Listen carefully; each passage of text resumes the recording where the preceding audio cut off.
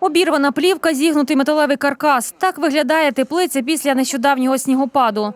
Геть був сильний сніг. Я позвонила додому мамі в 12-й годині. Кажу, мам, дуже сильний сніг падає, йдіть подивитися теплиці. Мама прийшла, каже, дзвони з нами, ходіть, допомагайте нам, того, що теплиця сідає. І десь оцю літру підставляли, підставляли, щоб вона геть не впала.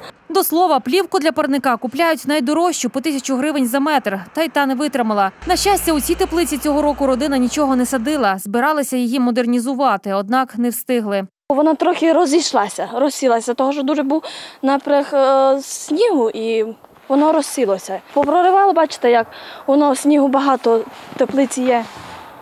Лагодити конструкцію поки не поспішають. Кажуть, зима довга, хто знає, які ще сюрпризи принесе погода. Тішаться, що великої шкоди снігопад не завдав, а от у деяких сусідів парники завалило повністю. І там вже зійшли перші паростки. В адміністрації ж кажуть, погодні примхи – головна проблема, яка приносить чимало клопоту місцевим фермерам. И, и Шавский, вот и вообще Закарпатье, то есть находится как раз так, что мы находимся под воздействием постоянно каких-то э, при- природных катаклизмов. Это или град, это или э, наводнение э, и так далее и тому подобное. Вот сейчас, допустим, оби- обильный снег.